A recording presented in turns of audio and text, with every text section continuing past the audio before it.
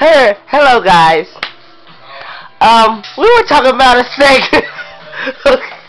a segment. No, nigga, you get your back here. No! He mooned y'all. He tried to. He tried to freak me. He tried to freak me. he tried to freak me. What you gonna do about it, nigga? Yeah, I ate all the waffles. I ate all the waffles. How mama? How you gonna tell mama? She told us as long as I eat something, and if I don't eat it, I'm in trouble. I ate them. Food is in there for us to eat. Dumbass. I want to see y'all at the game, man. Daddy, I'm putting this on YouTube.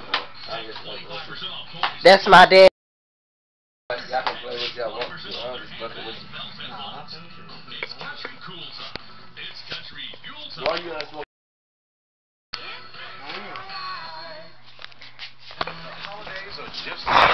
Mm.